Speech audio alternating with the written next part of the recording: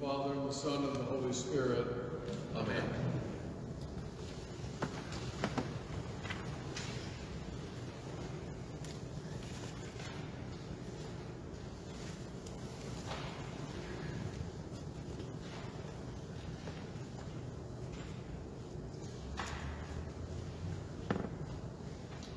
Jesus came down through the wilderness. It's a, a really rugged and kind of nasty desert, almost indescribable desert from Jerusalem down to the Jordan. It's uh, it's hilly with lots of arroyos, virtually no vegetation, and uh, and just real wilderness for miles and miles and miles.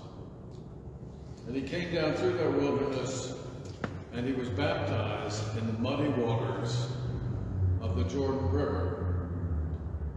Jordan there is maybe five, six feet deep. It's not terribly wide, uh, maybe as wide as the canal down by 29th Street. Um, and very muddy and slow moving. So Jesus was baptized in these muddy waters, and there were others baptized by John as well. And after Jesus came out of the river, he came to the shore and he stepped aside to pray while others were being baptized. Don't know if he was kneeling or standing or sitting, but he just went off with himself and was praying. And while he was praying, the Holy Spirit came to him and he heard these words from God, You are my beloved Son. I am very pleased with you. What I'd like to ask you this morning is, what was Jesus praying about? Now it seems to me that it's a really important and it's a helpful question. What was he praying about? And I actually think the story gives us clues about the answer to that. And that his prayer involves at least three major themes. First, Jesus was praying about rebirth. Second, he was praying with compassion. And third, Jesus was praying about his own vocation. Rebirth, compassion, and vocation. I think they're always our major themes in daily prayer. Prayer of rebirth. There's, there are a whole lot of things that can drag you underwater, that can drown your spirit, that can make you feel like you're underwater in the muddy Jordan River. Now, of course, there's sin and guilt. But those are only a part of the muddy water that threatens to drown us. What makes something sinful is that it feeds the darkness that lurks behind and within everything. The darkness includes and is the fear of death and the reality of destruction. And it includes a lot more than sin. Being depressed is like being underwater. Everybody's depressed some of the time. And some people fight depression all of the time. When Jesus went underwater in baptism and emerged again, he was symbolically casting off depression. Being anxious or worried drags a lot of us underwater. We hunker down, avoiding life because we're afraid, or because we failed, or because we've been hurt in the past.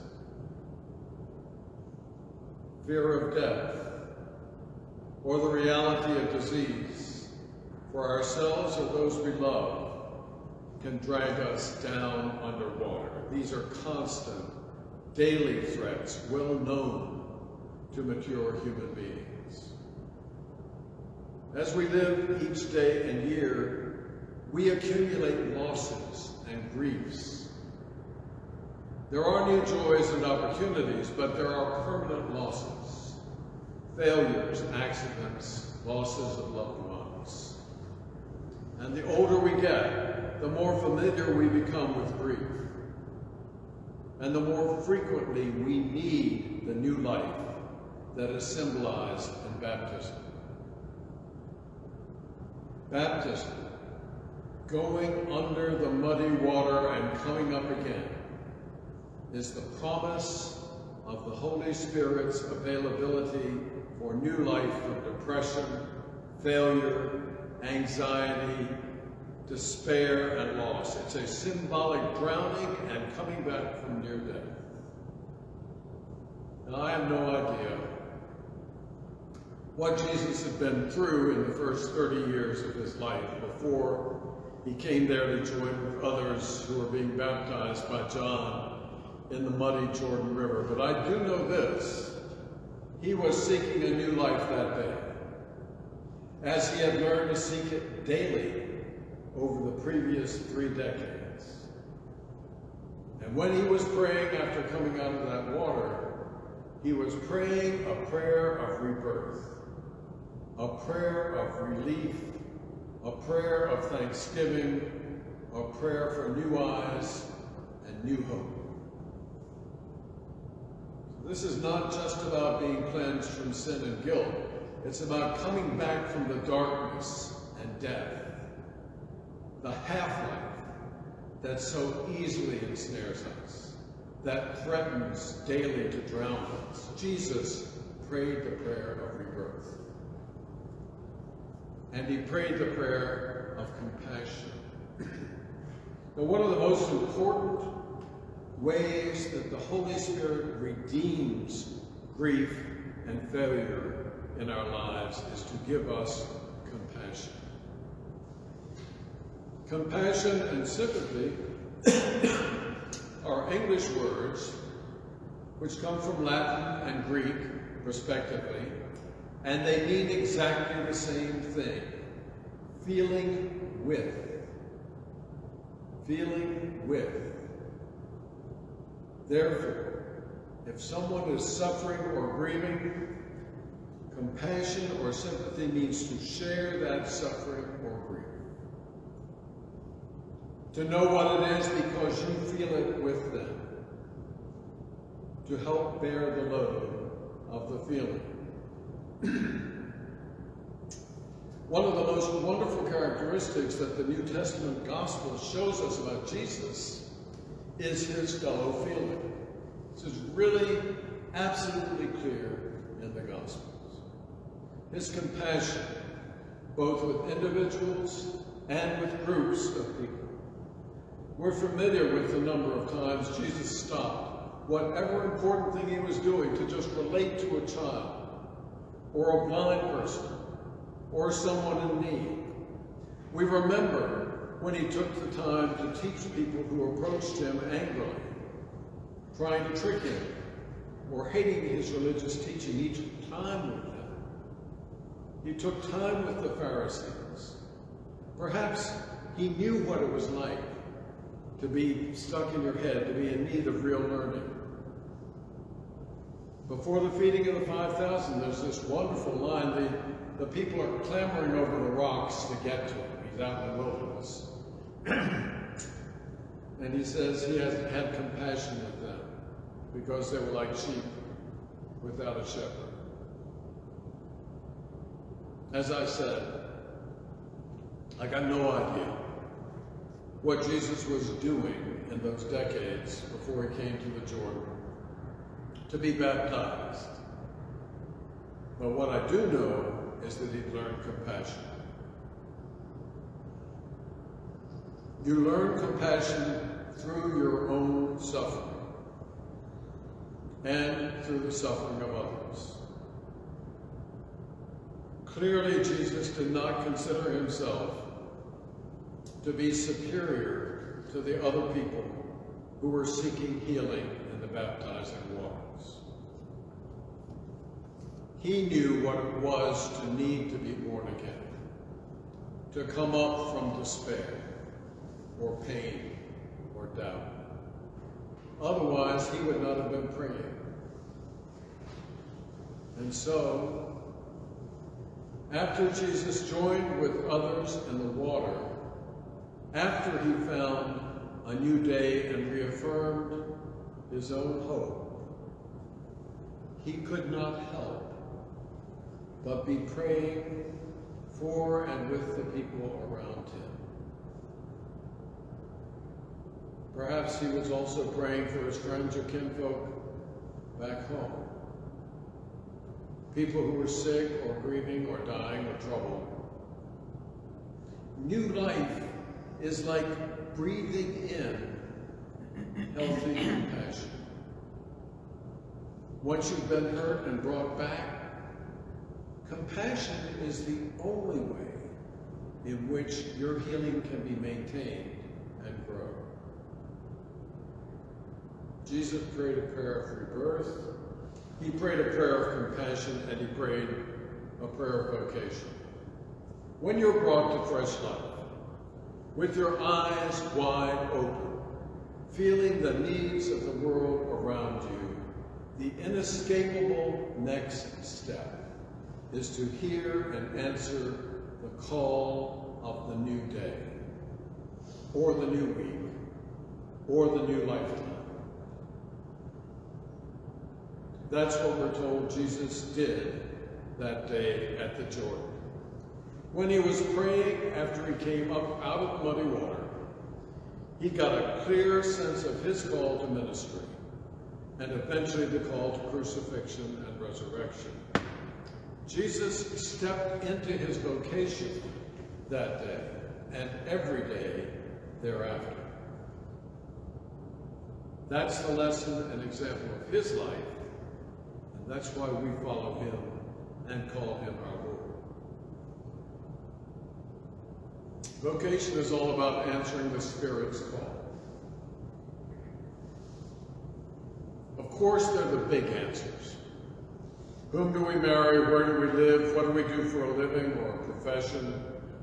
But for most of us, most of the time, the questions of vocation are the daily ones. What am I called to do today? How can I serve? How can I be of use? What do I want to do? What must I do? There are many ways we try to dodge the question. And sometimes, often, the answer is difficult. But what we are being offered is the way of life. Freed from the darkness of despair, empowered and enlightened by compassion, we must step forward into the daily wealth of the days and hours that God has given us. Now, I'm almost sure that that's what Jesus was praying about at the Jordan that day. He was finding the confidence that this was the time to begin again. He was seeking to understand what he was to do next. That's not just my opinion. That's what the Gospels say happened. After he left the group of people at the Jordan River, Jesus went back out into the wilderness by himself and he prayed for 40 days about his vocation. And then he came back, as we know, into civilization, into Galilee, and started preaching and healing people. The baptism in Jordan's muddy waters was a symbol of the spiritual life in which Jesus walked daily and into which he, by the Spirit of God, invites us. The muddy water is a place of birth. It's a life of prayer. And ultimately, it's life fully alive that we are called. to. Now, I believe that most of us are praying most of the time without even knowing it. That's what I believe. I'll, we'll talk about Romans uh, 8 at some point if you want to talk about what he says there. We're praying most of the time without even knowing it. But sometimes we're aware of it. And inevitably, the prayers will follow on one another, giving shape to our daily journey. First, the prayer of rebirth. Second, the prayers of compassion. Third, the prayer of vocation. Out of the muddy waters, every new day.